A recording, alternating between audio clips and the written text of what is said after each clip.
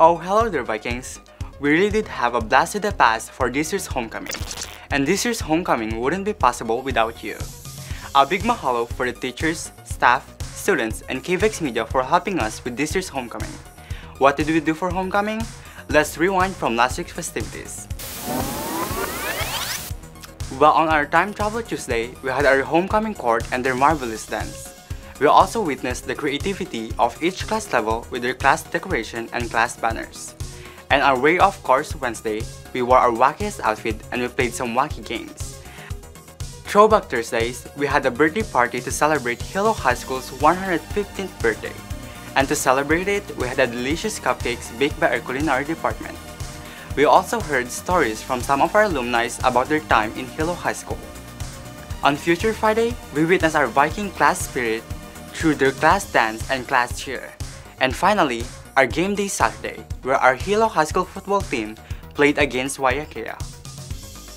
Once again, we thank everyone for making this year's homecoming possible. For now, this includes our Vikings Blast to the Past celebrating 115 years homecoming. Until next homecoming again, Vikings!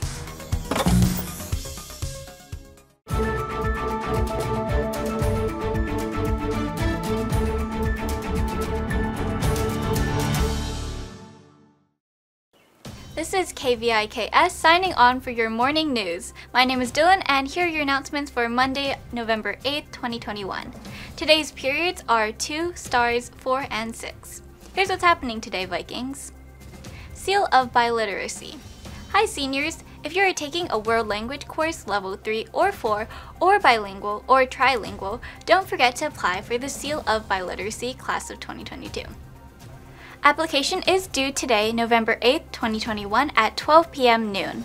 Go to bit.ly slash HISEAL2022 app to register and complete the application before noon. If you have any questions, please see Shiata Sensei in R24. Kauko cards. The class of 2022 is still selling Kauko cards for $20. With your Kauko card, you will be able to receive all kinds of discounts and free goodies from local businesses. You can purchase a Kauko cart in Ms. Araki's room, C209, every Monday and Friday during the lunch periods. If you cannot make it, please email Makiley at s355-makiley.palmerson at k12.hi.us. Make sure to tell all of your family and friends to support our seniors. Here's what's new, Vikings. You may have heard about Hilo High School's Student Credit Union, and you may be thinking, what's so special about it? By having an SCU account, you can start learning skills that you will use in adulthood. You'll be able to learn how to save money and put it towards future costs such as college tuition and school expenses. You'll also establish an early relationship with a financial institution, which will make getting loans and credit cards easier in the future. On top of that, here are three benefits that we would like to share with you. The first benefit is that there is a difference between an SCU student account and a youth account at a credit union.